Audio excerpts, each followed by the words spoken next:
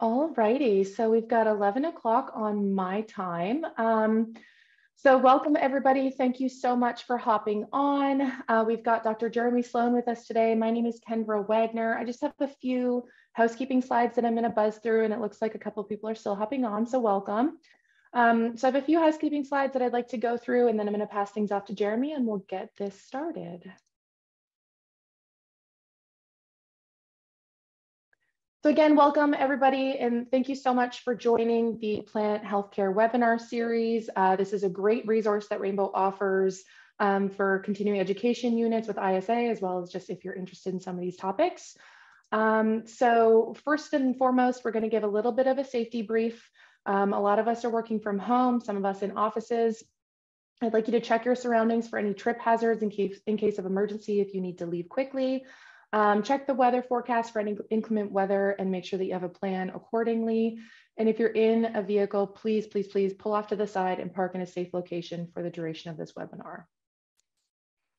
So again, my name is Kendra Wagner. I'm a research scientist with Rainbow Ecoscience. Uh, my background is in traditional and urban forestry, um, and I've also attended Mississippi State University for my PhD in forest entomology. Um, this is my contact information here. If you uh, feel the need to reach out for anything, please do so. Uh, essentially, my job with Rainbow Ecoscience is to conduct field research and develop new products and protocols and equipment. I'm constantly seeking innovative solutions uh, for issues in our North American landscape. So again, please feel free to reach out to me or our Solution Center if you have any questions or concerns about anything. So a little bit of housekeeping. We are using Zoom for this webinar. Um, I will not be looking at the chat box for this webinar. Please use the Q&A box. If you have any questions, we'll answer them at the end of the presentation. Uh, so just pop them in there. Um, the webinar will be recorded and will be sent out via link at the end of the webinar. You'll have access to that about uh, two weeks after, the, after today. Um, and on the last slide, we do have the continuing education course code for ISA. Um, it's worth one ISA CEU. Um, if you did not enter your ISA certificate, certification number when you registered, um, please put it in the Q&A or directly reach out to me um, and we'll, we'll get that on record for you. And so without further ado, I'd like to introduce our guest speaker today, Dr. Jeremy Slone. He's an entomological researcher with Bartlett Tree Experts and has a master's and PhD with North Carolina State University, if that's correct, Jeremy. Um, and so please take it away. I'm going to stop sharing and you can go ahead and share your screen. Perfect. Great. Perfect. So I'm assuming you should be able to see my slides now. We can. Perfect. All right. Thank you for the introduction. Um, hopefully this is really informative for everybody. Talking today about hemlock woolly adelgids. Now, a little bit about my background. Um, so like Kendra mentioned, um, I did get a master's and PhD at NC State, um, primarily working in agriculture, but looking at the integration of uh, IPM and pollinator conservation. So kind of how your management practices and your pollinator conservation practices can kind of come together in a way that's a little more harmonious if you're aware of it. Um, unfortunately, I find myself working at the Bartlett Tree Research Labs on the Arboretum here in Charlotte. So we've got about a little over 350 acres um, so depending on what kind of plant pests I might be interested in, I can possibly just hop out and see what that looks like in the landscape, which is very helpful. Um, that's a little bit about me.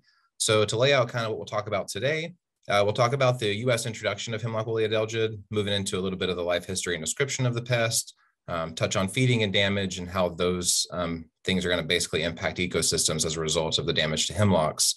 Um, we'll wrap up with management and some interactions between um, hemlock trees, the adelgids, and some other critters as well. So regards to the US introduction, it's actually kind of interesting. Uh, this pest is native to East Asia. So the red area that you see in the map there details where the hemlock range is in Asia. Um, so you can see around Japan, China, Taiwan, India, Nepal. Um, the pest is kind of scattered around in these areas, um, but is naturalized and has been there and kind of evolutionarily been with those host trees for an extended period of time. Now, when you shift over and look at the US, uh, we have two distinct populations, one in the West and one on the East. And they're actually geographically isolated. So we don't see a lot of um, mixing as a result of those two populations. If you're looking at the West Coast specifically, uh, it was detected in Oregon around the 1920s. Uh, they did determine that this population is genetically distinct. Um, and it actually is a lot more interesting than it sounds kind of superficially. Um, if you look at the trees in this area, the hemlock trees, as well as the pests, uh, this invasion establishment was likely a very long time ago. And I think the best guess is somewhere on the magnitude of tens of thousands of years. So counting on what you would maybe call an invasive pest, uh, it's obviously been present on the West Coast for an extended period of time. And as a result, the trees that we have, the hemlock trees on that coast also have a bit of pest resistance built in. So you could say that this is invasion, but it's also somewhat naturalized at this point because it's been present for such a long time period.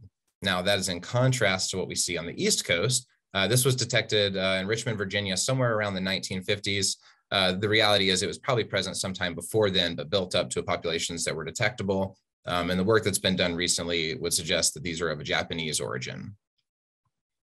So at this point, the pest is kind of present as far south as Georgia, up into the northeast with Maine, and along that northern border over to Michigan. Um, however, the pest doesn't cover the full range of where hemlocks are present. So when you're comparing the host versus pest distributions, you can see um, in this map here on the right, all of those green areas are places where hemlocks are present, but the pest is not. So all of those more burgundy and yellow colors are just a reflection of when hemlock woolly adelgid was detected. But you can see there's a fair amount of the range that hasn't been filled in yet.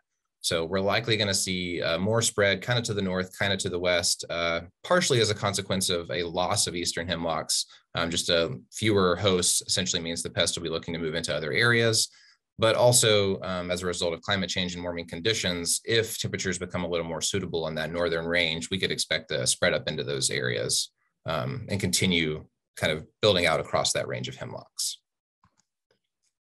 So next we'll talk a little bit about life history. Um, this map is just showing you several of the different species of hemlocks that are present throughout um, different countries. Uh, this pest does feed exclusively on hemlock trees, but the only areas where we're seeing severe damage is on those eastern and Carolina hemlocks that occur in the eastern United States. And again, part of that is just that long-term resistance built up between the kind of evolutionary arms race between the pests and the host trees where it's been established for a much longer time frame.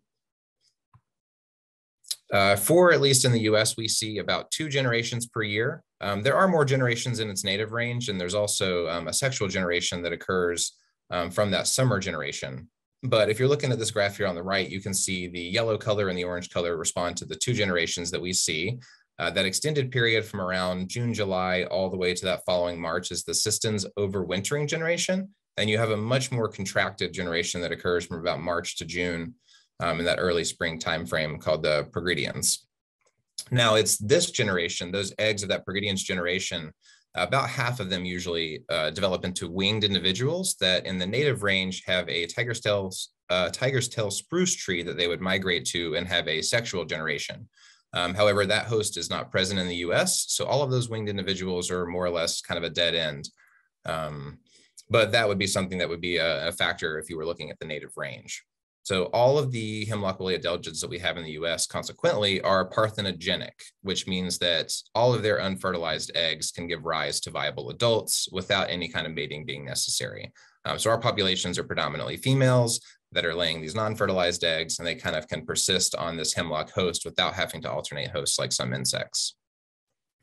Um, and overwintering females from that over from that longer generation period have an average of around 200, maybe up to 300 eggs, um, but the females that are present during that spring generation tend to only have around 75 or less. So there's a little bit of variability um, in terms of how the individuals within those generations may behave. Um, but obviously the time frame for development is also quite different. Um, and even in the presence of mortality factors, you can have populations that build up very rapidly with that kind of uh, reproductive potential. Now, if you're looking at it kind of at a, an annual period of those two generations, you can see that extended sistens generation uh, goes through what's called a summer dormancy period. Um, in other words, this is an estivation as opposed to a hibernation.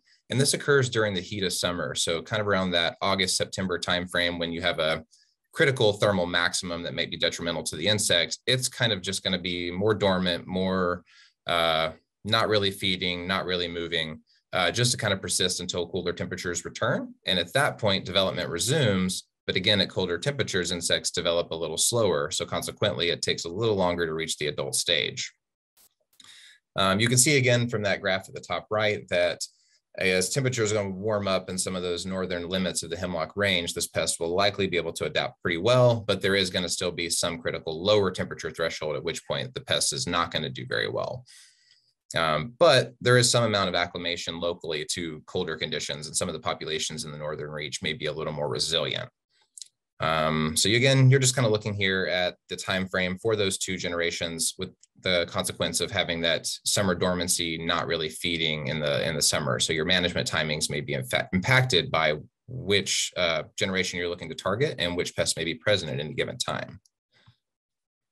So as I mentioned, uh, we don't really have this alate sexual generation in the US, mostly because we don't have this host. They do still produce alate winged individuals. They just don't have anywhere to go. Um, there's actually been reports of a lot of these winged individuals kind of in mass washing up on beaches and shorelines, kind of falling out of the sky in various areas.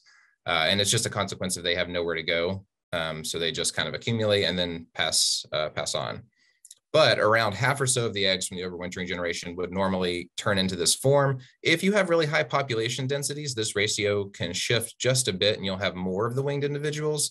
Um, and obviously that's going to have implications for management because if you have more of these winged individuals, you have less individuals on the hemlock tree that are going to generate that sistens generation that overwinters. So um, again, just kind of different factors that may influence how abundant populations are. And then once you get an abundant population, what that might mean for generational population density. Now, if you were to look at what this uh, insect does on that secondary, or I guess primary host for the sexual generation, the tiger's tail spruce, it actually causes a gall, which again is challenging for management because the insects inside the gall are generally more protected.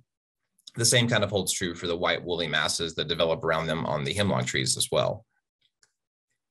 But if we look at dispersal, how this insect is actually moving, um, predominantly this is done by the crawler stage. It's the only point at which the individual is actually moving around. Um, once they actually insert their mouth parts, that's more or less it for their movement. But these crawlers are able to drift onto the wind, um, so kind of ballooning on air currents. They may also climb onto the feet of birds, other wildlife, things like that, and be able to disperse over much larger distances. Um, however, human assisted movement of infested materials is also a really common thing that occurs for a lot of pests. Um, and any kind of material, whether that be nurseries, um, plants, or any kind of foliage that happens to have the insect that gets moved around, that can serve as an inoculation source. In terms of timing, there's an average of somewhere around five to 10 miles per year on the outer edges of the range that it's spreading. So you can see in this graph, just kind of a decade approach look at how fast this pest moved from that initial detection around 1951 in Virginia and how kind of over time this has spread out. Hasn't been super rapid, but it has been um, reliably expanding over time. And we expect that it likely will continue to expand out, especially in the areas where it's already present um, at a given you know, cold tolerance or hardiness zone, it may continue to spread into those areas even before it reaches some of these northern limits.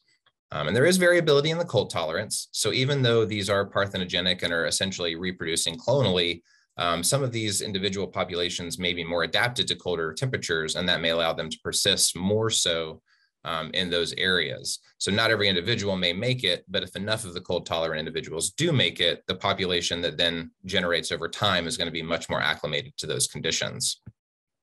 Um, and interestingly enough, we'll talk about this a little later, but when it comes to the biocontrol agents that are available for this pest, most of them are fairly cold tolerant as well. Um, maybe not quite as tolerant as some of these populations of the adelgid, um, but there's a really good chance that introducing some of these biological controls and cold weather conditions may kind of keep populations in check in some of the northern ranges. So detection, if you're looking to see if your tree has this particular pest, it is fairly easy, fortunately. Um, you'd mostly just need to look for these white woolly masses that develop on the shoots, um, kind of branch tips, um, particularly on the young twigs. That's gonna be the more tender succulent tissue. That tends to be what these piercing sucking insects want to feed on. Um, and generally you're gonna see it a little easier in the winter. And that's predominantly because you have that generation that has an extended uh, developmental time over that period. So you get that accumulation of the waxy materials around their bodies. Um, and that does provide them protection from predators and parasitoids, but a lot of the insects that are more accustomed to feeding on them are able to bypass that. Um, it can have some implications for management, but again, um, there are several options that are available, which we'll touch on later.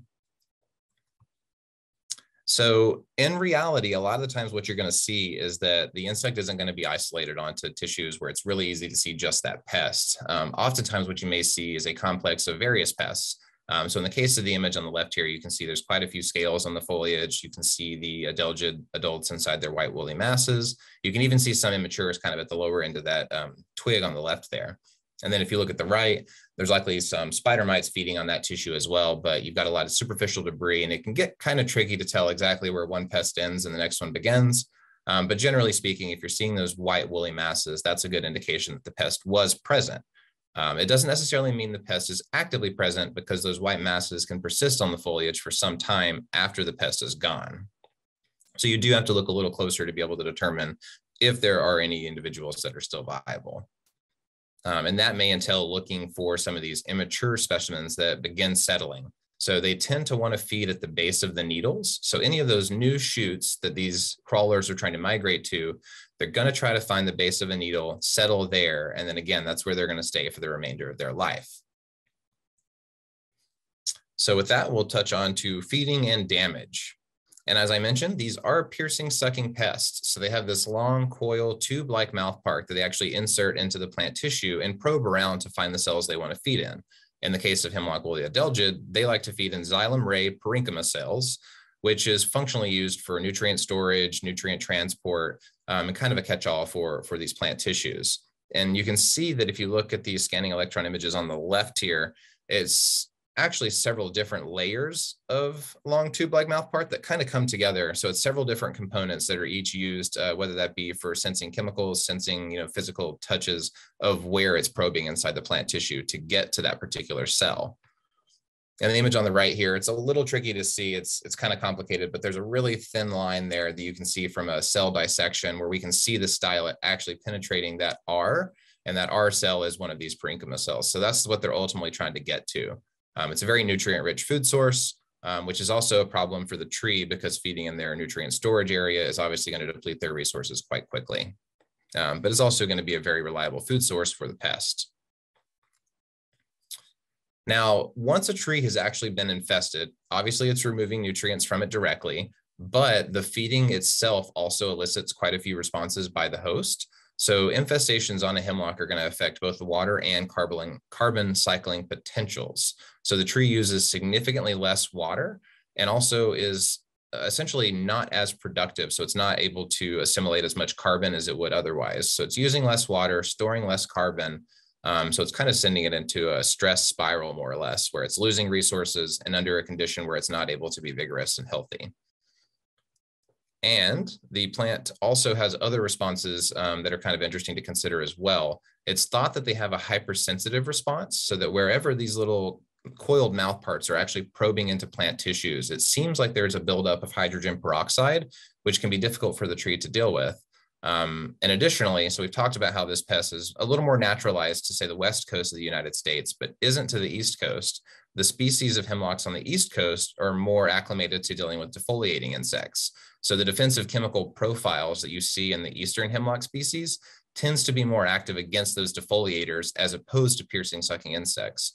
Uh, and the defensive profiles that would be useful against, say, an adelgid are what helps to make those species on the west coast or in the native range um, a lot more tolerant because you can actually see quite large populations on trees in the native range as well as on the west coast that have you know a lot of adelgid activity but don't have the same kind of decline spiral that we see with the, the hemlocks that are on the east coast um, but again, part of that is just due to uh, the long-term evolutionary associations between which pests are feeding on them and how the trees have had to adapt in their environments. So with the insect causing that kind of damage, what kind of symptoms might you see? Uh, so in terms of plant injury, you're going to see dulling, kind of grayish colored foliage. Um, and again, with this insect feeding at the base of the, the actual needle there, it's going to kind of kill it slowly, at which point it's eventually going to defoliate and fall away. Uh, and over time, as they do this to a lot of the shoots, you start to see twig dieback, um, bud death, and ultimately reduced growth because all those growing tips are going to continue to decline and die back. So growth is going to have to occur um, more toward the interior, which is going to be more of a challenge. So you start to see symptoms at the very edges at first, and then it's ultimately going to work its way kind of throughout the entire canopy. And if you're in a setting where you've got stands of trees or kind of a larger area, what you tend to see is decline of the larger branches from the bottom up um, and ultimately, it's just kind of a decline spiral. So symptoms might start slow and they might start to ramp up over time. Um, a healthy tree may be able to persist as long as say 10 years. If a tree is a little more susceptible, maybe already dealing with stressors, or maybe you have a particularly bad infestation, uh, you may see mortality within about four years. But ultimately, if you've got a healthy infestation across hemlock trees, you can expect that the tree may not make it past about that four to 10 year window. Uh, so it is important to manage it, or ultimately the tree can't usually overcome it on its own. Um, it's actually kind of interesting, though, if you actually start to look at how these uh, insects damage the tree over time within that four to 10 year period. And it kind of goes through stages. Um, so stage one would be your initial infestation. So say you have a tree, there's no hemlock woolly adelgids present, um, they become present and then through those rapid reproductive potentials are able to build up populations very quickly and you start to see really significant decline kind of a shock factor. So you've got these huge populations all of a sudden causing stress to the tree. Uh, the tree's responses to those stressors are to you know further go into decline. So these accumulations of different problems uh, build up to start to have that really serious uh, decline and dieback that you would see throughout the canopy throughout different trees and because of that those hosts become more or less a poor quality. So those hosts are no longer you know vigorous producing all the nutrients reliably and readily. So the pest populations start to decline because they're feeding on a host that isn't as as attractive to them. Um, there's not as much new growth available. So ultimately the population starts to crash just a bit um, which you would think would be a good thing maybe give the tree a chance to recover However, because of that recovery period in stage two, as it does start to push out any kind of new growth, you tend to see rapid reinfestation um, and those problems just kind of returning and occurring all over again. So these cycles kind of occur over time, and ultimately the pressure gets to a point that mortality is generally going to be what happens because the tree is no longer able to sustain itself. So I mentioned that you might also see a variety of other pests. I think it's worth mentioning these as well, because if these pests are present, they may predispose uh, the tree to an attack by hemlock woolly adelgid because it's already stressed, or the actual infestation of adelgids may lead to these other infestations because the tree is, again, more susceptible. Um, so there's a variety of different armored scale pests that you can see in the top right there. Um, here in the Bartlett land, we get a lot of samples from kind of across the US, and we tend to see elongate hemlock scale with hemlock woolly adelgid more often than the others. But we have gotten samples before where we might see, you know, all of these different scales and adelgids present on the same tree. And you could imagine that that tree is under significantly more stress than the others um, within other infestations possibly. There are also a couple species of mites. There are some spider mites, a couple different species that you may encounter that'll cause speckling damage. Um, this is going to reduce photosynthesis, but isn't necessarily a tree killing or, or you know significant problem, but could accumulate and, and be one of those contributing factors. Uh, and you also have rust mites, kind of like the spider mites, might cause stress, but aren't necessarily going to kill the tree. Um, and then a variety of fungal cankers, which generally tend to be secondary on stressed hosts. Um, but you could imagine a scenario where you have a complex of different pests here that are going to be difficult to overcome and are contributing to that downward spiral that's just going to keep happening. So when it comes to ecological impacts, you know, what, what does it mean when these insects are present and causing this kind of decline? If it's say just a single, you know, landscape tree, maybe that's not too bad. Um, but you may also have huge stands of forests. Um, and because hemlocks are long lived and shade tolerant, they are capable of growing on their own. So you could have a single species stand that's getting more sun exposure. However, you may have a dense overstory with hemlocks below it because they are shade tolerant. So it can have interesting dynamics on which tree species that you have in a given landscape or a given forest. Um, but hemlocks serve a really useful role in that they're a little adaptable to a variety of different circumstances. Um, one of the other things that's a real problem on the East Coast is that they're often found along slopes and near waterways, which the hemlocks are providing some amount of erosion control on edges, um, but also water shading. And that's one of those things that maybe isn't intuitive, but if you think about this uh, tree as something that's shading the water, that's keeping temperatures more moderate and stable, and once the hemlocks are gone, if there's not a species that provides shade to the water, and as temperatures increase, you're going to have influences and impacts on the insect populations, for instance, that live in the water. And if the insects aren't going to do as well, they're not going to serve as a food source for things like fish and birds. So even though you know the loss of hemlock itself may be a problem, it's also going to potentially have rippling out effects that'll contribute to other problems throughout the ecosystem. And then just as a tree itself, hemlock is providing food, winter shelter, microclimate conditions for a variety of different wildlife and plant communities. Again, with it being so well established in many forests and kind of serving this uh, more robust role, it can be a real problem if those, those particular trees are no longer available. So next we'll touch on to management. Um, and we'll start with management with biological control. There's been a significant amount of effort that's went into trying to determine which biocontrol species may be effective to release at large scales. Um, there are two non-native Japanese predators that kind of come to the top. Uh, tsugae is readily available and is bivoltine. And when I say readily available, what that means is that say you're, you know, in charge of managing a forest or you're just a homeowner, you could order these insects online for release. They've been pretty well vetted um, and released at pretty large scales at this point. And it's difficult to determine exactly how well they establish or exactly how effective they are.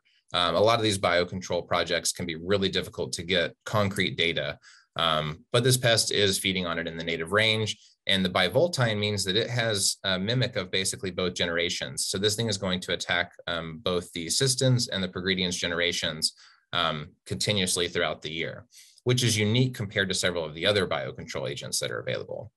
So I believe that you can also order the Laricobius species there. However, it's not as readily available as the one before. Um, it might be more of a challenge, whether that be from production or just who has access to actually order it. Um, the consequence, though, with the Laricobius is that they are in sync with that overwintering generation. So in those uh, summer times, uh, early spring times, you're not really going to see this insect being active. It's going to be kind of its developmental period in between. Um, whereas again, with the species above, you're going to see multiple generations that pair a lot better with the actual Hemlock woolly adelgid generations. So it might be a case where you would use both of these species, um, or maybe just the uh, S. tsugae species, kind of depending on your needs in your particular situation. But these are the only two non-native Japanese predators that are used uh, at larger scales. There are a couple US predators also in that Laricobius genus. Um, and interestingly, we see that there are some that we can gather from the Pacific Northwest, and there are some that we've collected from the Eastern uh, US. Both of these are in that same kind of grouping of only being active against that overwintering generation, which can be a problem because you're you're going to maybe crash the population, but it's likely going to be able to rebound. So they're they're kind of a supplemental type uh, release uh, what we've seen though is that the Laricobius species on the East Coast tend not to be as effective. Um, they've been here for a long period in the absence of hemlock woolly adelgid, so they've developed a taste for pine bark adelgids. So while they will still feed on a variety of adelgids, their host-seeking behaviors aren't necessarily going to lead them to locate hemlock woolly adelgids when other adelgids may be present nearby. Um, so it might not hurt to have it in the landscape, but it's also not going to be as effective as some of these others, which are a little more specific to their hosts.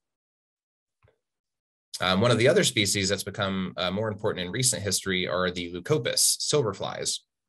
And they're interesting um, because we do see these on both the east and west coasts as well.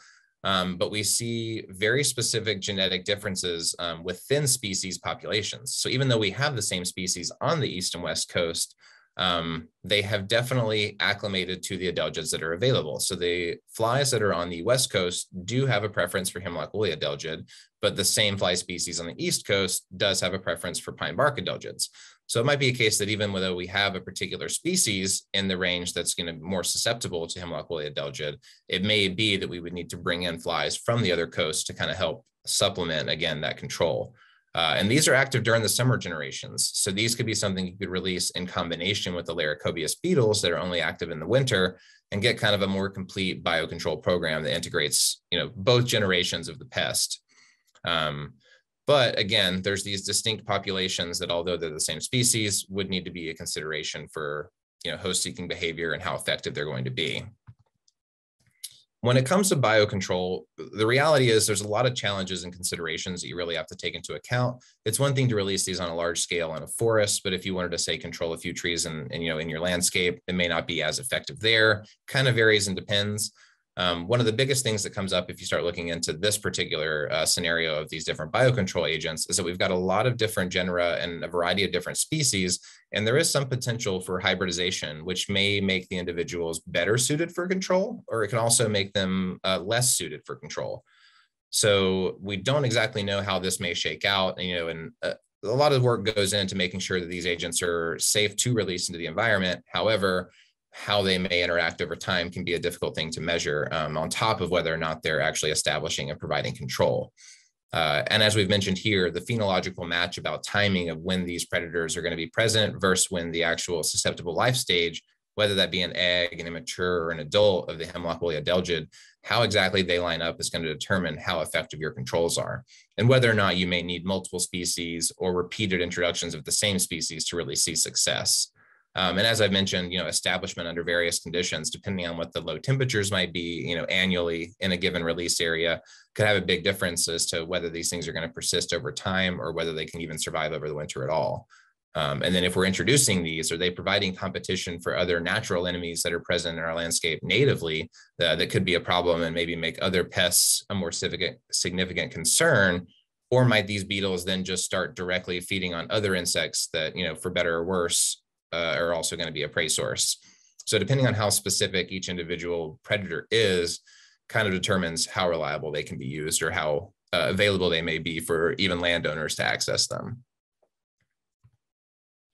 So that's biocontrol. Um, we also have quite a few chemical control options available as well. Um, when it comes to chemical control, some of the most widely used products are things like imidacloprid and dinotefuran, um, but there are also uh, horticultural oils that can be applied at different times in the year that may help with smaller infestations. Um, the benefit of the two chemicals above are that they're both systemic, um, however, their active timing and things like that are going to be a little different. So with imidacloprid, you do get long-term control. So even as imidacloprid breaks down, the metabolites are also active against adelgids. So you get this really extended control period of maybe upwards of five to seven years from a single application. Um, so you'll get the knockdown over time. It's maybe not quite as quick as you may want. So timing of when the initial application has to go out would be important here, but you do get this extended control period um, which can be very helpful if you're trying to protect, you know, say a lot of trees um, and you may not have the actual manpower to knock out a whole bunch of applications. Um, whereas something like dinotefuran provides a much more rapid control, usually within about a month, but it's not going to persist past maybe a year or so. So you're not going to see that same long-term extended control, but you can get rapid control with say a really heavy infestation. Um, it's actually not uncommon in some areas for both products to be used. You might use the dinotefuran to get that rapid control of a really you know, declining, stressed out tree. And then you might use imidacloprid to provide that long-term control so that the infestations don't return. Um, as with anything, you do have to consider, you know, management decisions also require kind of a deeper evaluation of other factors that might be present. Um, so aside from just your time frame of control, you know your tree's location whether it's you know proximity to sensitive areas might determine whether or not you could do certain types of applications whether it needs to be you know trunk spray and injection things of that nature. Um, but also tree health and symptom appearance. So if you know you've got a really small infestation it may not warrant an expensive treatment um, unless you're trying to do it preventatively. So there's a lot of different factors that are going to kind of go into whether or not a particular product is going to be better than another um, and you also may want to take into account whether beneficials are being released in the area because if you're releasing beneficial insects, then all of your practices should line up with that in such a way that you're not going to endanger them and also reduce their populations over time. Um, just kind of anecdotally, the interesting thing with dinotefuran is you may also get control with armored scales. So if you've got a case of a hemlock tree that has a multiple pest infestation, you may be able to manage multiple things with a single application. Uh, so cultural controls, some things to consider. Um, hemlock is a shallow rooted species. So you really um, want to try to make sure it's getting water during dry periods because this is gonna kind of help reduce stress of the tree, hopefully make it a little less susceptible to attack um, or at least predispose it a little less so. Um, similarly, you can prune, uh, prune or reduce crowding to improve sunlight penetration. Um, I have some slides at the end that I think are, are really interesting that kind of touch on this about how much sunlight hemlocks may want, what that sunlight might mean to the hemlock woolly adelgid itself. Um, and the other important thing to keep in mind with adelgid infestations is avoiding excess nitrogen fertilization. Um, generally, when you fertilize trees with a lot of nitrogen, they're going to grow really well, push out a lot of new growth. Uh, but again, that tender succulent growth is also the same tissue that these adelgids want to feed on. So you're creating a perfect food source that then they're going to be highly attracted to. So generally speaking, you would want to avoid those excess fertilizations until you've got the pest under control, or you may make the problem worse. Um, and in some cases, it's possible that mechanical control or just removing the tree may be the most appropriate thing. Um, it really just kind of depends on the individual circumstance and what the actual end goal is. Um, but there are cases where that may be the most appropriate thing. Now, if you're looking at kind of an IPM approach here, what are the best management practices that you might be able to do? Uh, the U.S. Forest Service actually has a really great uh, guide resource manual uh, that kind of talks about the integration of chemical and biological control. Uh, this is mostly geared towards you know larger plantings, forested areas, um, parks, things of that nature. Uh, but the approach can kind of be the same depending on if the area that you're trying to treat or manage is similar in terms of stand density or which species are present. The idea behind this approach, though, is that you're utilizing multiple levels of chemical protection in addition to leaving some trees untreated so that they can be kind of a reservoir for biocontrol establishment. So again, you're going to be releasing some insects, also doing treatments, but doing it in such a way that you've got a mosaic so that you can preserve some of these beneficial insects while still getting control on the trees that are important. And I pulled these two images from that guide, and I think they're worth talking about. Um, the image that you can see on the left has that green recreation area with maybe some benches, park areas, things of that nature.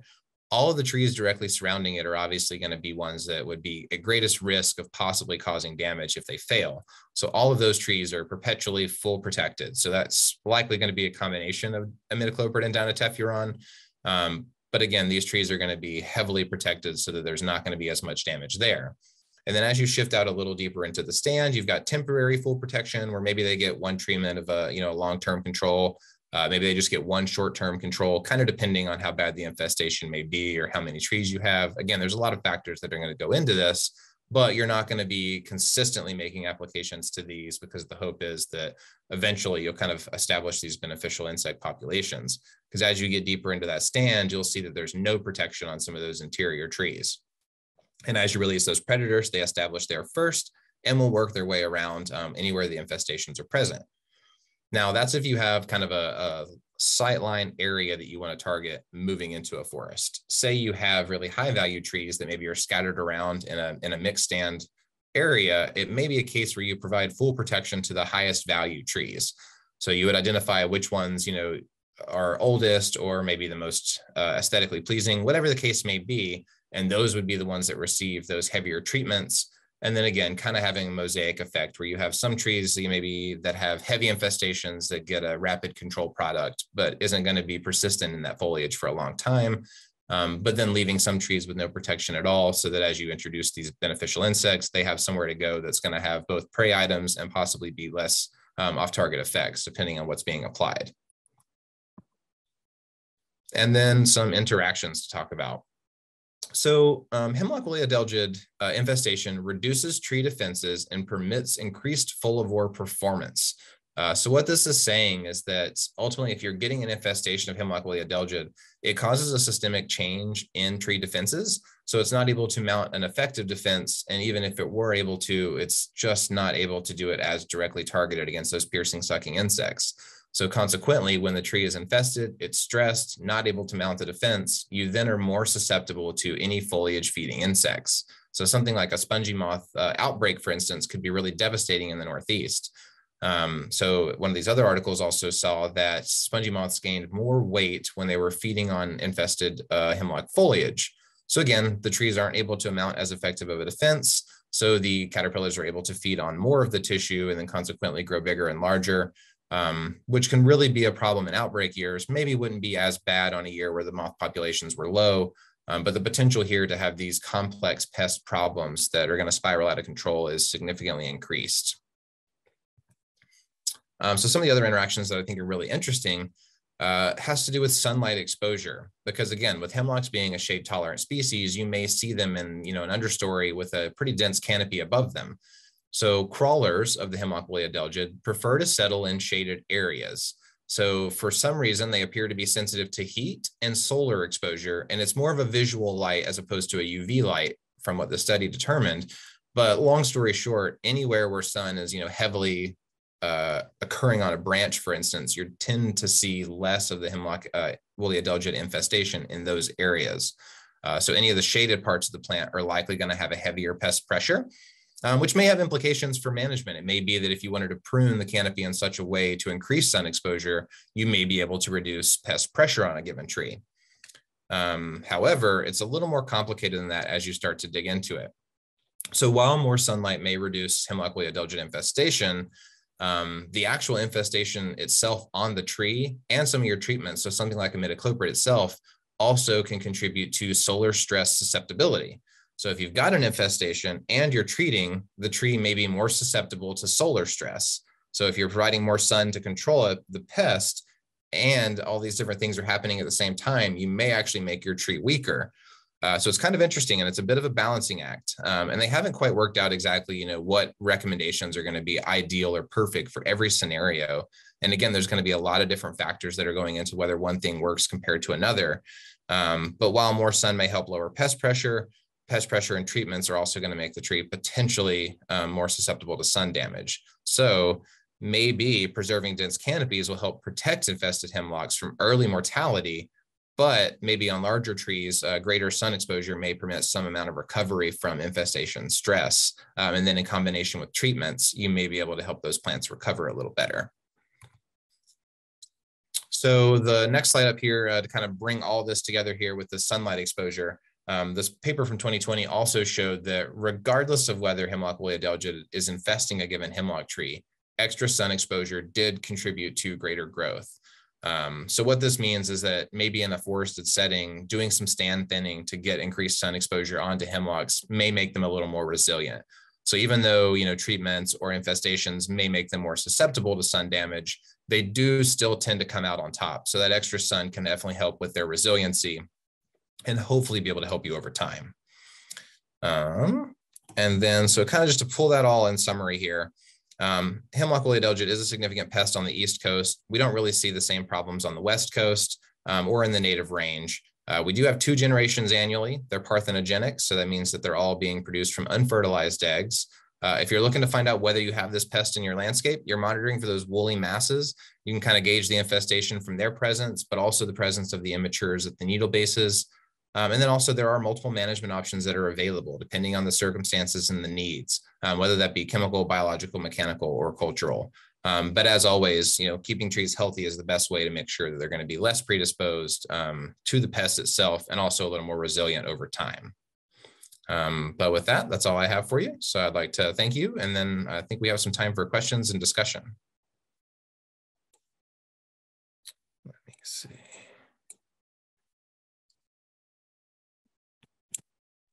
All righty. Thanks so much, Jeremy. That was a great presentation. Um, so here is my thingy. It is frozen, of course. Stand by. Okay. So now we have some time for Q&As. We do have a couple uh, already in the chat. We had a couple pop up that I think you um, you addressed sufficiently in your presentation, but um, the first one being have plant growth regulators been proven effective? Yeah, so I actually haven't seen much data on that in particular. Um, I would imagine that even if you're doing growth regulators, any amount of new tissue growth is still going to be targeted by the immatures. Um, so I would imagine that even if you are doing some approach of trying to keep the plant small, you're still going to see infestations, and those smaller plants may be more susceptible to the damage actually. Um, but because you have those several stages of infestation where the population kind of explodes, contracts, and explodes again, um, I don't think you're going to get long-term control by trying to manage plant size. Okay, fantastic. Um, our next question is, uh, how does strategy change overall in your water if you have a adelgid and elongate hemlock scale?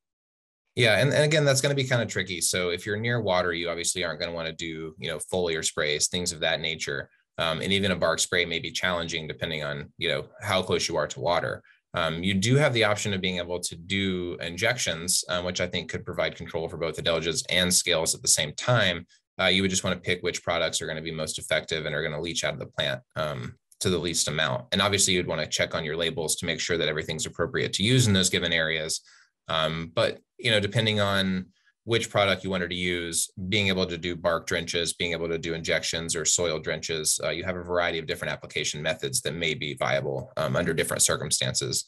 And if you just happen to be in an area where you know applications may not be viable, that could be a case where these biocontrols and trying to preserve plant health through cultural care may be the most effective solution. Okay, fantastic. Thanks, Jeremy. Well, it doesn't look like we have any more questions, but I'll just do a final call for questions if, if anybody wants to pop any into the Q&A. Um, if not,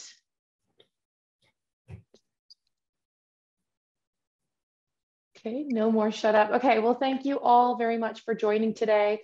I did put Jeremy Slone's email at the bottom if you would like to record that and just uh, reach out if you have any further questions. Um, other than that, thanks again for attending this webinar. Please check out our webinar series. Um, we have tons of free webinars. There's another one coming up on tree injections, um, and you can access that through this QR code here in the top right.